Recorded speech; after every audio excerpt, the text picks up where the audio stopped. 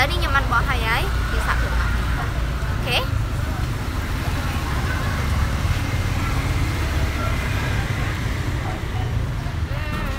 បានដល់ហើយមិនសុំនេះចោលបន្តិចហើយកូនថាកូនមែនលើកទី1ដែលញ៉ាំកម្ម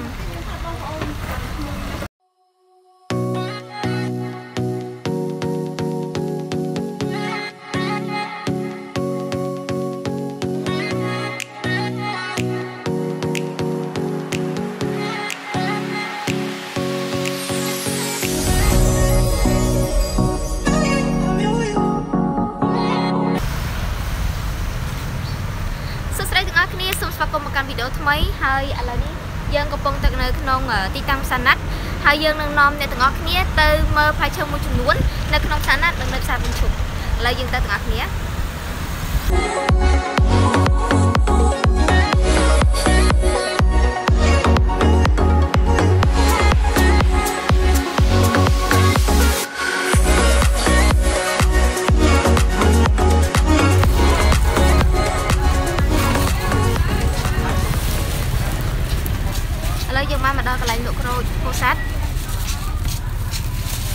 នេះមកខាងកំណន់ចាអានេះអានេះមកទាំងអឺអានេះគេហៅថាទឹកស្លឹកមានតងមកហ្មងណាពេជ្រថ្មីថ្មីថ្មីចឹងអឺសម្រាប់ក្រូចពោធិ៍សាត់មានសបកវារៀងពណ៌ខៀវសបកក្រាស់ល្អប៉ុន្តែក្រូចពោធិ៍សាត់នេះគឺយើងយកមកពីខាងបាត់ដំបងខាងជំនាន់យើងទេហើយអឺ បើនិយាយពីរសជាតិវិញគឺថាអឺរសជាតិជូរផ្អែមឆ្ងាញ់ឥឡូវយើងទៅសាកភ្លក់ទាំងអស់គ្នាអញ្ចឹងតកតងជាមួយនឹងរបៀបចាត់វិញគឺយើងមានអឺការញ៉ាំមានចិត្តច្រើនប្រភេទគឺយើងត្រូវចាត់ដោយប្រើកបិតកបិតកបិតមុខពីរក៏បានកបិតមុខមួយបែបនេះក៏បានដែរអញ្ចឹងយើងបះកងវាចេញមកហើយយើងចាត់ស្បកអញ្ចឹងអឺការចាត់មានអ្នកខ្លះគេចាត់បែបចេះក៏មានឥឡូវចាំមកខ្ញុំខ្ញុំខ្ញុំចិត្តអឺបែបពីរបែបឲ្យអ្នកទាំងអស់គ្នាមើលឥឡូវយើងចិត្តបែបមកប្រភេទសិនដើម្បីស្រួលញ៉ាំ យើងហាន់វាមកហើយតាមទៀតយើងត្រូវអឺអឺចាត់វាឲ្យជុំវិញអញ្ចឹងណាដើម្បីយើងងាយស្រួលញ៉ាំយើងអាចញ៉ាំបែបហ្នឹងក៏បានតែចិត្តឲ្យស្រួលប្រយ័ត្នបដៃហើយចិត្តបានវែងនេះអានេះអានេះវារៀងដូចជាអឺដូចជាខ្សាច់កអញ្ចឹងណាពេលយើងចាត់ហើយអញ្ចឹងណាយើងចាត់ វារហូតដល់អស់យើងចាត់វារហូតដល់អស់អញ្ចឹងណាហើយអឺសម្បូរអ្នកចូលចិត្តញ៉ាំមែនទែនអ្នកទិញផ្ញើបងប្អូនផ្ញើអីតាមបណ្ដាខេត្តផ្សេងផ្សេងអញ្ចឹងណាអានេះគឺដូចជាខ្សែកអញ្ចឹងយើងអាចយកខ្សែកក៏បានចាអូខេហើយមួយវិញទៀតអឺសបកក្រូចណាក្លិនក្រអូបអឺកាលពីចាស់ចាស់ពីដើមគាត់យកអឺសបកក្រូចបែបនេះគាត់យកទៅធ្វើអឺទៅធ្វើជាអឺគ្រឿង លក្ខណៈថាដាក់ឲ្យក្អូបបន្ទប់ណាគឺគាត់យកសបកក្រូចយកអីចឹងទៅហើយគាត់តែងតែយកសបកក្រូចបែបនេះអឺទៅបោះក្រោមក្រែក្រោមអីចឹងព្រោះគាត់ជឿថាសបកក្រូចនេះអាចជួយបណ្ដាញសត្វសត្វអឺសត្វល្អិតសត្វអីផ្សេងផ្សេងដូចជាពស់ឬក៏អឺអឺក្អែបឬក៏អីផ្សេងផ្សេងចឹងណាអានេះគឺសបកយើងចិត្តសបកវាចេញមកអានេះយើងបានយើងបានយើងបានផ្លែក្រូចដែលយើងអាចញ៉ាំបានហើយផ្លែក្រូចនេះអញ្ចឹងសម្រាប់ផ្លែក្រូចនេះគឺយើងអាចអឺ ពុះជាពីរញ៉ាំក៏បានដែរពុះជាទូទៅគឺយើងពុះជាពីរអញ្ចឹងយើងសាកលក់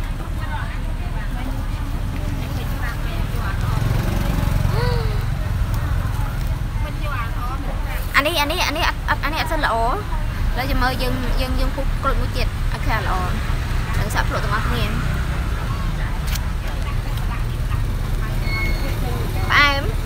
អានេះផ្អែមប៉ុន្តែវារៀងរៀងស្កកបន្តិច វារៀងស្កកអានោះព្រោះវាអញ្ចឹងណោះតែផ្អែម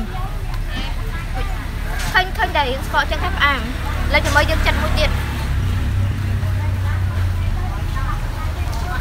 ចាំមើលយើងចាត់មួយទៀតអានេះអឺផ្អែមវារៀងស្កកបន្តិចមែនតែវាផ្អែម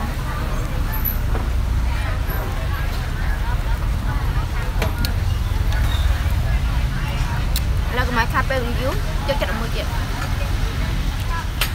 ចាំក្រូចអឺការចិត្តគឺមានច្រើនប្រភេទគឺយើងអាចអឺអាចចិត្តវាបែបនេះក៏បាន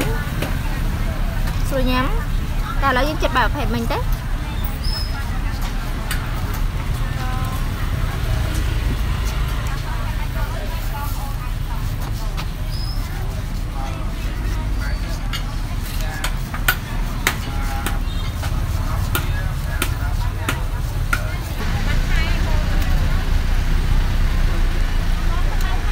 នេះគឺអឺមានទឹកល្អផ្អែមឆ្ងាញ់ហើយសាច់ដូចអឺសាច់វាខាងក្នុងនេះគឺដូចអឺអឺទឹកខ្មុំអញ្ចឹងណាសាច់លឿងទុំដូចទឹកខ្មុំតែម្ដងហើយបើនិយាយពីអត្ថប្រយោជន៍របស់ក្រូចវិញគឺមានអត្ថប្រយោជន៍ច្រើនជួយទាំងស្បែកជួយទាំងភ្នែកសក់កញ្ចក់សម្បូរវីតាមីនច្រើនមែនទែនសម្រាប់អឺមនុស្សស្រីយើងមួយចំនួនគឺគាត់យកក្រូចពោធិ៍សាត់ទៅខាត់ស្បែកធ្វើស្បែកទន់នៅលោងវាអញ្ចឹងណាអញ្ចឹងក្រូចពោធិ៍សាត់គឺញ៉ាំបានគ្រប់វ័យតែម្ដងមិនមែនញ៉ាំបានតែក្មេងទេណាទាំងគ្រប់វ័យទាំងក្មេងទាំងមនុស្សចាស់ទាំងវ័យកណ្ដាលគឺញ៉ាំបានគ្រប់ស្តាប់វ័យតែម្ដងហើយគឺលក់ដាច់មែនទែននៅម្ដុំផ្សារណាត់នេះគឺសម្បូរក្រូចតែគាត់យកមកចេញពីតំណន់ណាគឺសម្បូរមែនទែនយើងអាចនេះអានេះក្របក្រូចនេះយើងយកវាចេញណាក្របក្រូចយើងយកវាចេញ ហើយក្រូចនៅទីនេះមួយផ្លូន50000រៀលមួយផ្លូន50000រៀលដែលមួយផ្លូនមានចំនួន40ផ្លែបើយើងគិតក្បាច់ថែម4ផ្លែទេវាត្រូវជា44ផ្លែ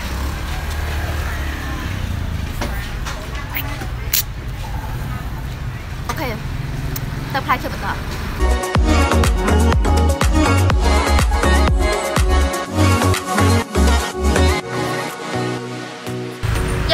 ដំណើររបស់យើងទៅកាន់វីដេអូមួយទៀតគឺទៅកាន់ផ្លែឈើទឹកដោះគោឥឡូវនេះផ្លែទឹកដោះគោគឺមានច្រើនមែនទែនទឹកដោះគោនៅទីនេះគឺមានពីរប្រភេទសម្រាប់ពណ៌នេះយើងមើលទៅពណ៌ស្វាយប៉ុន្តែឈ្មោះរបស់វាគេហៅទឹកដោះគោក្រហមអានឹងមួយហើយចំណែកឯពណ៌នេះវិញអឺអានេះគេហៅទឹកដោះគោដូចគ្នាដែរប៉ុន្តែទឹកដោះគោទឹកដោះគោសឈ្មោះវាណាអឺ តកតងជាមួយនឹងរសជាតិវានៅខាងក្នុងគឺរសជាតិស្តៀងគ្នាទៅតាមចំណង់ចំណូលចិត្តរបស់ពួកយើងបាទអ្នកខ្លះគាត់ចូលចិត្តញ៉ាំទឹកដោះគោពណ៌សគាត់អាចអឺគាត់អាចជ្រើសរើសអានេះបានប៉ុន្តែអ្នកខ្លះចូលចិត្តរសជាតិទឹកដោះគោក្រហមយើងអាចញ៉ាំបានប៉ុន្តែរសជាតិពីរនេះពីរនេះគឺឆ្ងាញ់ដូចគ្នាហើយយើងមើលរូបរាងវាមូលមូលដូចបាល់អញ្ចឹងណាមូលមូលហាក់ដូចជាផែនដីរបស់យើងអញ្ចឹងណាមូលអានេះគឺតងមានតងនៅខាងនឹងស្រាច់ឃើញថាតងរាងស្វិតស្វិត ដោយសារតែត្រូវកម្ដៅថ្ងៃអញ្ចឹងវារៀងស្វិតតងស្វិតអីតិចណែស្លឹកឬគ្នាដែរនេះគឺស្លឹកទឹកដោះគោហើយអឺតកតងជាមួយនឹងសម្បករបស់វាគឺអឺរបៀបនៃការមើលរបៀបនៃការមើលអឺទឹកដោះគោគឺបើសិនជាសម្បកវារៀងរលោងបែបនេះគឺបានន័យថាវាទុំហើយអញ្ចឹងទាំងអស់គ្នាអាចមើលបាននេះគឺសិតតែរលោងទាំងអស់អញ្ចឹងបានន័យថាទុំហើយ ឥឡូវយើងមកសាកភ្លក់ទាំងអស់គ្នាយើងមកសាកភ្លក់ទាំងអស់គ្នាអញ្ចឹងវិធីញ៉ាំគឺយើងញ៉ាំមានច្រើនបែបណាវិធីញ៉ាំគឺយើងមានញ៉ាំមានច្រើនបែបអញ្ចឹងយើងប្រាច់តងវាចេញមកយើងប្រាច់តងវាចេញហើយយើងចាត់វាជាពីរក៏បានដែរប៉ុន្តែបើសិនជាយើងញ៉ាំយើងយើងទិញទៅញ៉ាំនៅនៅនៅផ្ទះយើងយើងអាចដាក់ក្លាសេទឹកកកក្នុងទូទឹកកកឬយើងដាក់ក្លាសេចំនួន10នាទីឬ15នាទីមុនយើងមកញ៉ាំវាធ្វើឲ្យយើងវាធ្វើឲ្យទឹកដោះគោនេះទៅឆ្ងាញ់ អូខេយើងចាប់ផ្ដើមចិត្តរបស់គ្នាអញ្ចឹងយើងចាត់ជាទីចេះមកណាអូសសអសសនេះគឺជាប់វានេះសសនេះសសនេះគឺជាប់វាទេ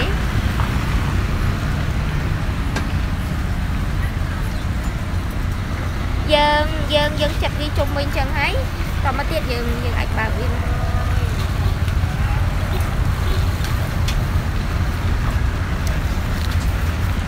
ខេបើកបានហើយបើកបានហើយហើយយើងអាចញ៉ាំបានអានេះយើងអាចញ៉ាំបានអឺអានេះគឺក្របវាក្របវាមើលទៅស្តៀងនឹងក្របល្មុតដែរខ្ញុំគិតថាស្តៀងរៀងស្តៀងនឹងក្របល្មុតដែរហើយអានេះវិញគឺអានេះក៏ក្របដូចគ្នាដែរអញ្ចឹងយើងយកក្របវាចេញហើយយើងអាចញ៉ាំបានឥឡូវយើងសាកភ្លក់ទាំងអស់គ្នា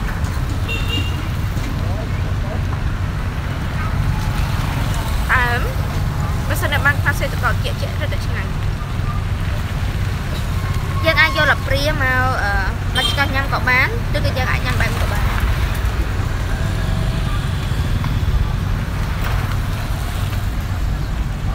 អឺភាពផ្អែមនៃទឹកដោះគោមិនសូវជាក្រាស់ប្រហែលទេផ្អែមល្មមមករសជាតិផ្លែឈើយើងដូចយើងនិយាយរួមទៅយើងញ៉ាំផ្លែឈើស្រស់ស្រស់ហ្នឹងអត់ផ្អែមពេកទេ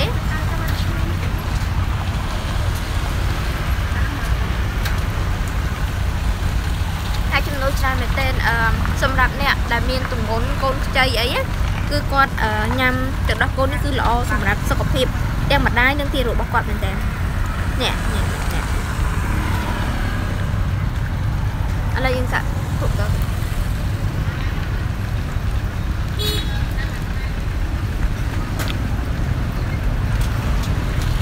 នេះនេះអឺជាប់ជាប់តាមនេះទៅនេះនេះអានេះគឺជាប់វាហើយសម្បកវាអត់អត់ជា ស្ដាក់អត់ជាក្រាស់ប្រហែលទេសម្បកវា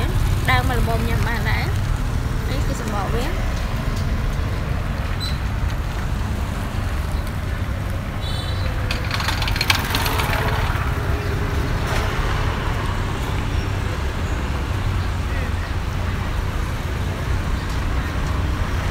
អឺផ្លែឈើនេះមិនមែនជា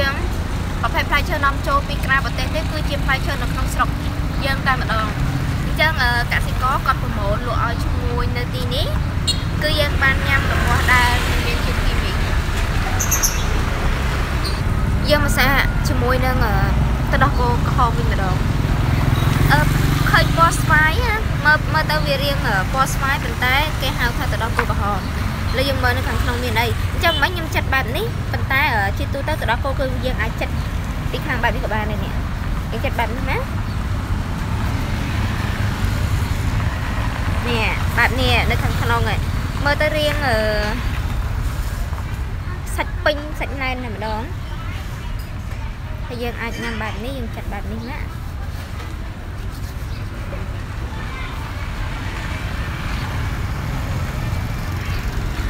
ហើយបន្តមកទៀតយើងអាចយកលាព្រាឬយកកបាត់មកចាត់បែបនេះបានណាហើយយើងក៏សាក់លក់ទាំងអស់គ្នា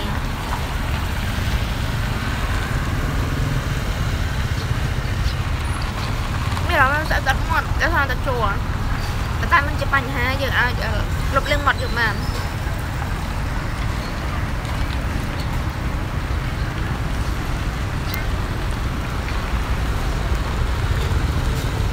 ចឹងទឹកដោះគោក្រហមនិងទឹកដោះគោសគឺឆ្ងាញ់បែបមិនតែម្យ៉ាងទេអញ្ចឹងអឺបើសិនជាតំណែងបងទៀនចង់សាកភ្លក់ទឹកដោះគោអាចប្រូទិញបានគឺវាមានរូបរាងបាននេះអូខេអញ្ចឹងយើងអឺតកតងជាមួយនឹងទឹកដោះគោនេះគឺយើងញ៉ាំមានខែរបស់វាអញ្ចឹងជាទូទៅអឺទឹកខែទឹកដោះគោគេហៅថាខែទឹកដោះគោបានន័យថាជាខែមួយដែលសម្បូរទៅដោយទឹកដោះគោហើយហ្នឹងណាអញ្ចឹងយើងអាចរកទិញទឹកដោះគោបានគ្រប់ទីផ្សារនៅហ្នឹងណាហើយជាទូទៅគឺយើងសម្បូរនៅក្នុងខែ11ឬក៏ខែ12គឺសម្បូរមែនតើប៉ុន្តែសូមប្រយ័ត្ននៅក្នុងក្នុងនោះអាចនឹងមានតកៅបើសិនជាអ្នកទាំងអស់គ្នាអឺទិញខុសកន្លែងដែលគាត់មានតកៅមានអីគឺចេះទៅខ ហើយយើងចូលមកចុងក្រោយមុននឹងយើងទៅកាន់វីដេអូមួយទៀត1 2 3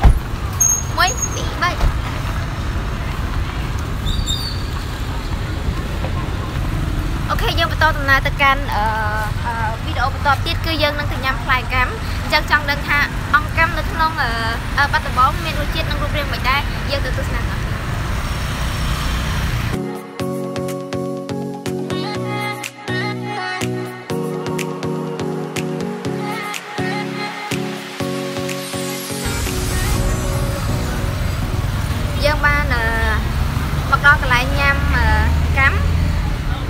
រូបរាងផ្លែកម្មរូបរាងវាទាំងអស់គ្នាមើលទៅដូចជាសត្វកម្ពុជាអញ្ចឹងណានេះវាមានបន្លាបន្លាអីផ្សេងផ្សេងអញ្ចឹងណាហើយអឺនេះគឺជាខាងក្នុងដែលយើងបានបកហើយអញ្ចឹងសម្បកវាគឺក្រាស់មែនតើហើយយើងបើសិនជាអ្នកណាដែលថាគាត់ប្រើដៃបកសូមប្រយ័ត្នប្រយែងផងព្រោះអីកម្មនេះគឺអាចនឹងមុតដៃអញ្ចឹងយើងទៅមើលរសជាតិទាំងអស់គ្នាយើងទៅភ្លក់រសជាតិទាំងអស់គ្នាឥឡូវនេះខ្ញុំបានបកហើយហើយគឺសាក់ភ្លក់ទាំងអស់គ្នាអូខេ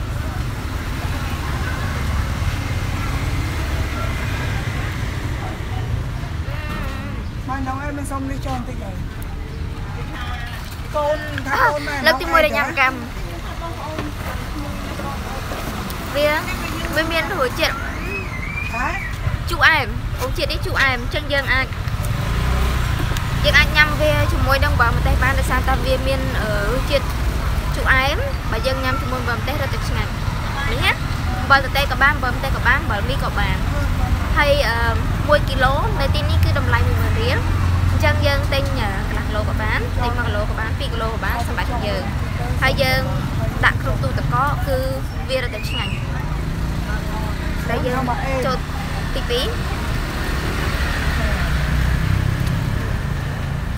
នៅខាងក្នុងនេះគឺមានគ្រាប់គ្រាប់វាពណ៌រាងខ្មៅខ្មៅនេះគឺគ្រាប់របស់វា ចំណែកឯសាច់របស់វាវិញគឺពណ៌រាងលឿងទុំណាគួរឲ្យឆ្ងាញ់មែនទែន យើងអាចបេះវាឲ្យច្រើនក៏បានយើងដាក់បើបើតែកន្លុកក៏បានឬក៏យើងអាចយកវាទៅជ្រលក់មួយមកតែក៏បានដែរអានេះណាទាំងអស់គ្នាទៅបើឡានយើងទៅទៅ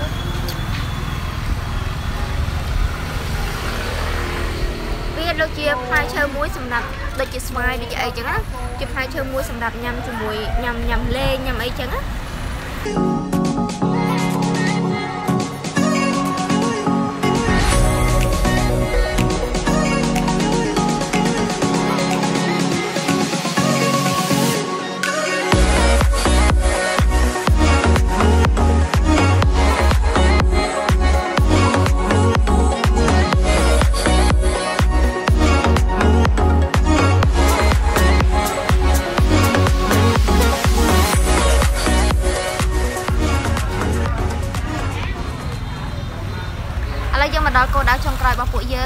នៅផ្សារបឹងឈប់ហើយយើងមកញ៉ាំតារ៉េននេះគឺជាតារ៉េនពូជម៉ាន់ថងដែលខ្ញុំកាន់នៅក្នុងដៃហើយអឺតារ៉េននេះគឺអឺសបោមែនតើនៅក្នុងខែ5 6 7 8អញ្ចឹងណាក្នុងខែហ្នឹងគឺសបោតារ៉េនមែនតើឥឡូវយើងមកមើលពីរូបរាងរបស់វាអឺតារ៉េននេះប្រហែលជា1គីឡូជាងហើយរូបរាងរបស់វាគឺសិតតែបន្លាវាវាវាស្តៀងទៅនឹងអឺ ផ្លែខ្នុរដែរប៉ុន្តែផ្លែខ្នុរមានបន្លាដែរបន្លាបន្លានឹងខ្លីៗប៉ុន្តែតារ៉េនគឺបន្លានឹងវែងវែងដូចទាំងអស់គ្នាបានឃើញអញ្ចឹងណាហើយអឺជាទូទៅតារ៉េនគឺមានក្លិនក្រអូបមែនទែនប៉ុន្តែសម្រាប់អ្នកខ្លះគាត់យល់ថាតារ៉េនមានក្លិនក្រអូបហើយអ្នកខ្លះគាត់យល់ថាតារ៉េនអត់មានក្លិនក្រអូបទេក្លិនស្អុយអញ្ចឹងណាហើយបើសិនជាអឺអ្នកដែលគាត់ដែលគាត់ចាញ់ក្លិនមែនទែនណាគឺគាត់អត់អាចញ៉ាំតារ៉េនបានទេជាទូទៅអឺសម្រាប់ជនជាតិផ្សេង គាត់អត់សូវចេះញ៉ាំតារ៉េទេដោយសារតែភាគច្រើនប្រភេទផ្លែឈើនេះគឺសម្បូរទៅនៅអាស៊ីអញ្ចឹងណាអូខេកុំឲ្យខាតពេលវេលាយូរយើងទៅញ៉ាំទាំងអស់គ្នា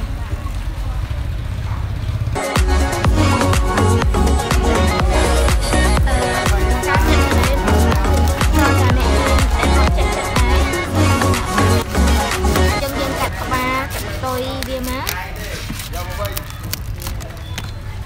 ជួយមែនតេនតរ៉េនណា ហើយការចាត់យើងត្រូវការពាក់ស្រោមដៃដែរព្រោះតរ៉េនវាបន្លាមុតអញ្ចឹងណាអត់បកអូខេនេះនេះបានហើយហើយយើងដាក់ចានណាហើយសល់ផ្នែកផ្សេងទៀតមើលទៅអ្នកលក់ចិត្តស្រួលចាស់ចាត់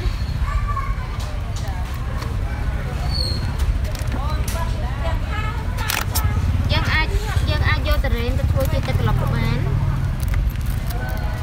ឈ្ងុយច្រើនណាស់នៅមួយនេះ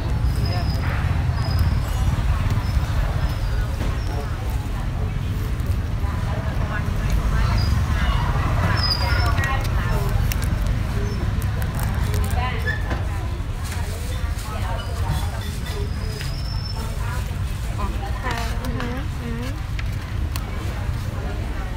ឥឡូវយើងអឺបានត្រេនមកហើយអញ្ចឹងយើងមកសាកភ្លក់ត្រេនទាំងអស់គ្នាអឺតកតងជាមួយនឹងអឺ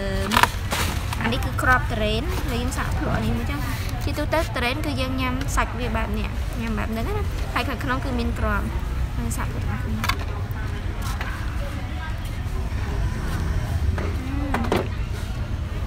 យើងអាចញ៉ាំក្នុងឡានបានណាសម្រាប់អ្នកដែលអត់សូវអឺចូលចិត្តតរ៉េណាប្រកាសជានៅពេលដែលញ៉ាំដំបូងអត់តប់អត់បាននឹងក្លិននឹងហ្មង ដោយសារតែវាក្លិនខ្លាំងបើសិនជាយើងញ៉ាំក្នុងឡានក្នុងបន្ទប់បើសិនជាអីក្លិនខ្លាំង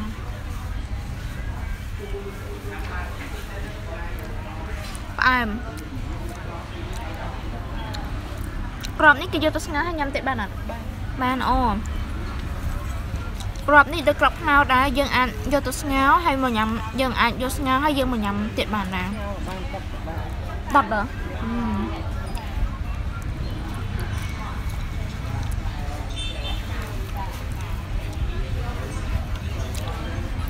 រសជាតិផ្អែម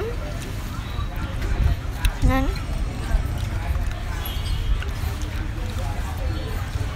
សម្រាប់1គីឡូគឺ18000ហើយអានេះគឺទឹកក្នុងតរ៉េនមួយផ្នែកយើងបានក្របប៉ុណ្្នឹង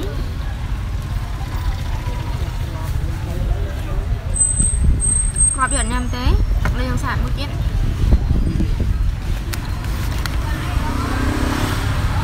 ជាទូទៅអឺ នៅនៅជាជាជាទូទៅយើងអាចរកទិញតរ៉េនបាននៅគ្រប់ទីផ្សារឬក៏តាមដងផ្លូវផ្សេងផ្សេងពុននៅពេលដែលដល់ខាងមានតរ៉េនគឺគាត់លក់ច្រើនមែនទែនសម្បូរនៃលក់តរ៉េនមែនទែនគាត់តាមប្រាំអឺយើងបានស្និទ្ធអឺមានប្រទេសខ្លះគាត់យកតរ៉េននេះទៅកែច្នៃគាត់យកតរ៉េនទៅកែច្នៃចេញជាស្ករគ្រាប់ ចេញជាអឺអីផ្សេងផ្សេងណាអូខេអញ្ចឹងឥឡូវវីដេអូយើងសូមបញ្ចប់តែប៉ុណ្្នេះ